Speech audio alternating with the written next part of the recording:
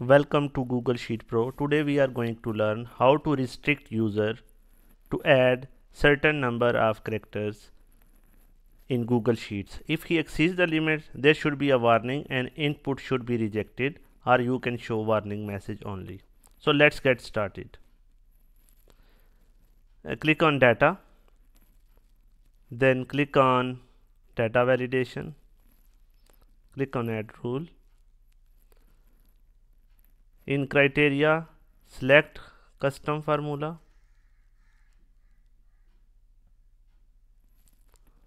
In custom formula, first of all select range where you want to apply the data. So let's suppose I want to restrict data from cell A2 to D12, D14. Select range and click on OK. Then write custom formula here. The custom formula to restrict character limit is hmm, length. You can select one of uh, the length A1. Let's suppose you have selected A1.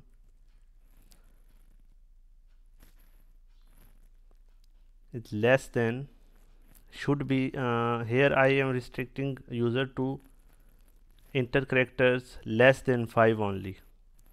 So I will write 5 here. You can set your limit here in the formula. Pre uh, click on done. Uh, uh, you have options to reject input or show warning message. Here I will select reject input. We can check with show warning advanced. You can show message here. Show help text. Let's uh, write help text. You you should enter characters less than 5 click on done now validation applied let's write some text let's suppose we want a b c d there are four characters it will accept now now let's write 5 characters. It should reject the input and show message.